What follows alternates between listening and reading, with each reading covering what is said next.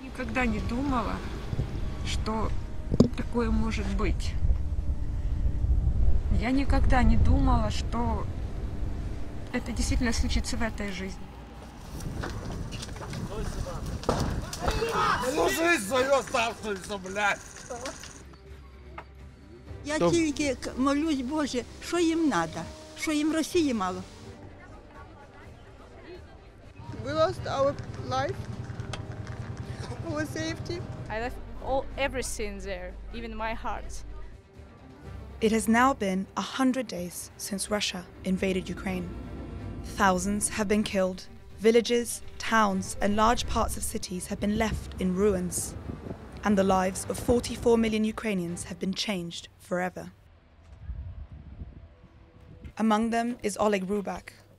A week into the invasion, this 32 year old engineer was in his house playing with his one year old daughter when a missile struck, killing his wife. the second bomb was dropping down near five meters of our house. You, you see, in this moment, it is not home, not room. It is, maybe, maybe it is hell. Like many strategic Ukrainian cities, Zhytomyr was hit by sudden and deadly attacks. Home to a military garrison, the city is 150 kilometers from the Ukrainian capital. In the early days of the war, Kiev itself was in danger of falling to a Russian military convoy stretching more than 60 kilometers long. Faced with this threat, Ukrainian soldiers destroyed bridges leading into the city to stall the Russian tanks. Western officials believe Moscow to be targeting Kiev in an effort to decapitate the government and install their own means of governance. Всі ми тут захищаємо нашу незалежність, нашу державу. І так буде й далі. Citizens search desperately for ways to flee.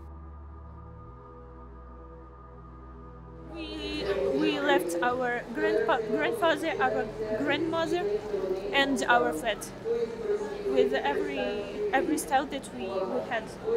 We just have a little little bag and our dog. Among those who stayed behind, some found refuge in the city's metro.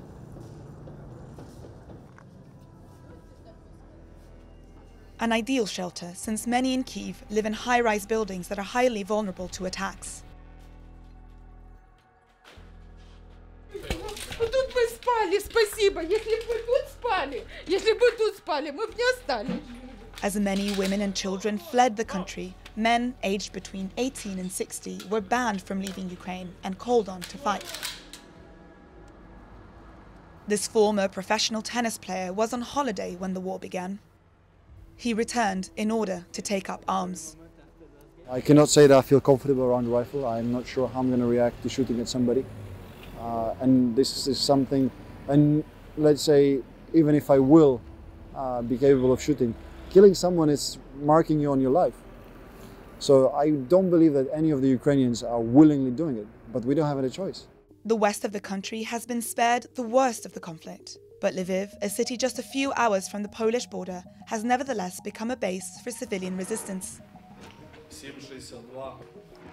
no one knows what will be tomorrow and i want to be ready uh, to be ready go to, to the war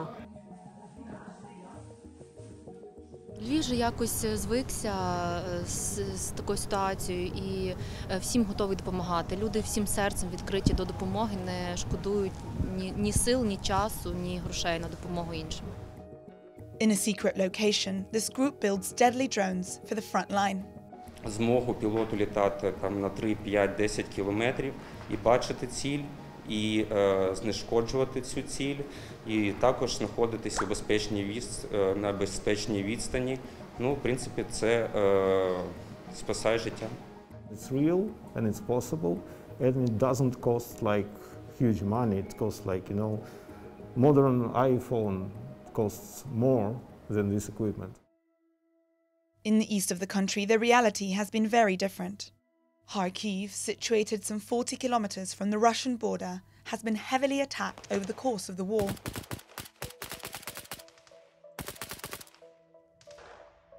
These Ukrainian soldiers are part of the main brigade in charge of the city's defense.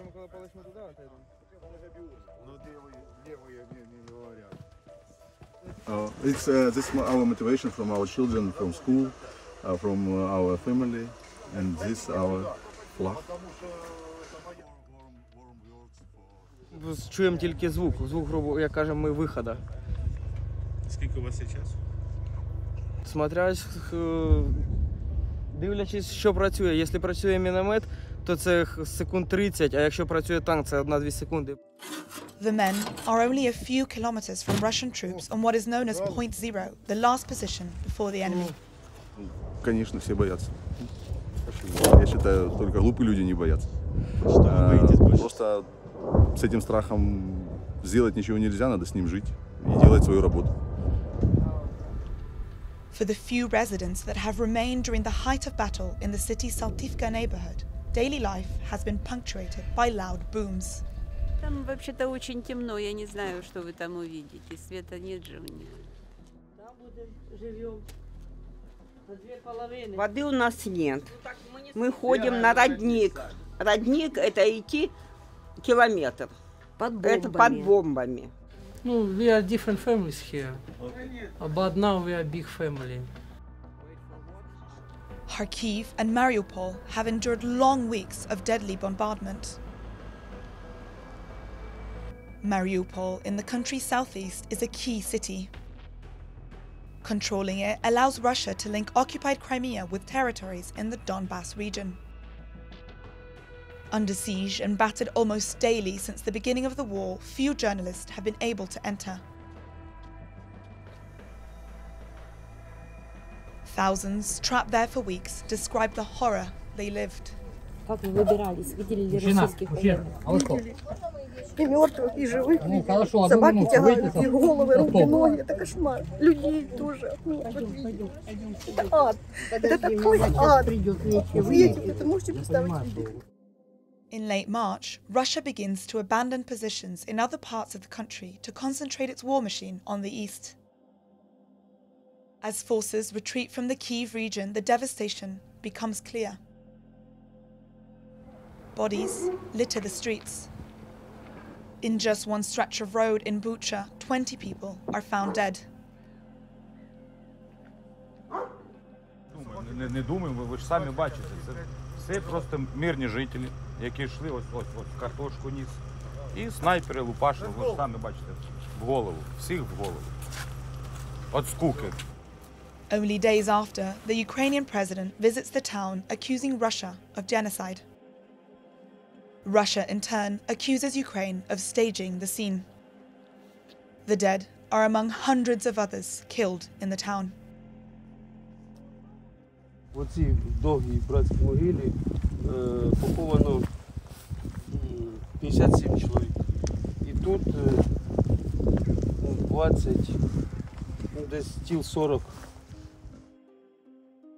Back in the east, Ukrainians prepare for the full scale assault on the Donbass. As Russian forces close in, those who can't or won't leave stay behind. Да, і що я б- що, е, дозволю, щоб ці тварі прийшли сюди і гвалтували моїх жінок, моїх дітей, мою землю поплюжили. Ніколи в житті. Да.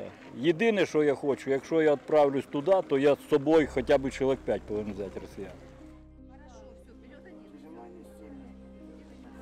Это все поменяется. Все. Это будет иго, это будет гнет. Иго. Мы не хотим этого. Мы никто не хотим этого. Мы не просили нас освобождать.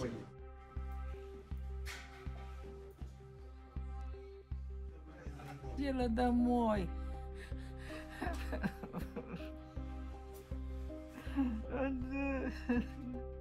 Холод пережили. Война была. Перенесли. Ой. А тут опять и такая уже нельзя ли еще это перенести? Э.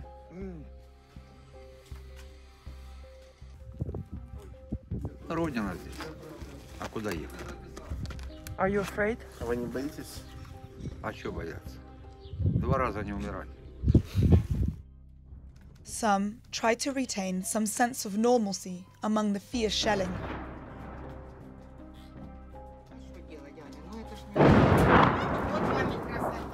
это что, осколки летят. Даже в убежище слышно. Мы же забегаем, все двери бегом закрываем и все. И сидим.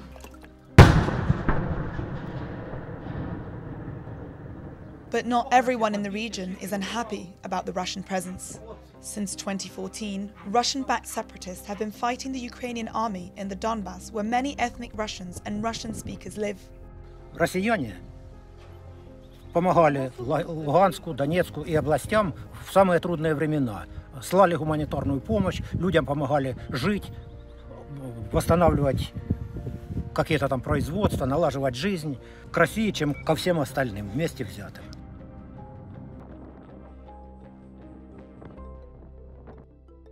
While fighting continues in the east, some Ukrainians are returning home to a bruised but lively Kiev.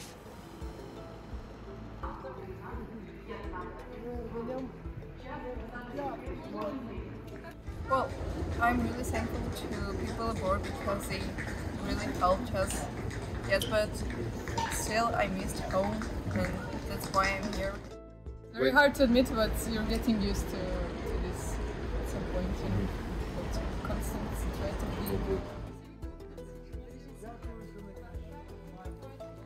In Bucha too, life is slowly returning to the streets. Поначалу шок, а потом понимаешь, что это уже наша реалити, и нужно менять свою жизнь и жить там, где, где есть, как есть. Жизнь идет, а жить надо. Какая бы она ни была, Ну да, потому жить что надо. это, если ты это не примешь, ты сойдешь с ума. Это точно. However, life for millions of Ukrainians continues to be a struggle. More than 8 million people have been displaced within the country. More than 6 million refugees have fled across the borders. While millions of others continue to live under constant threat. And as Russian forces close in on towns and villages in the Donbass, the outcome of the war and the future of the country remain uncertain.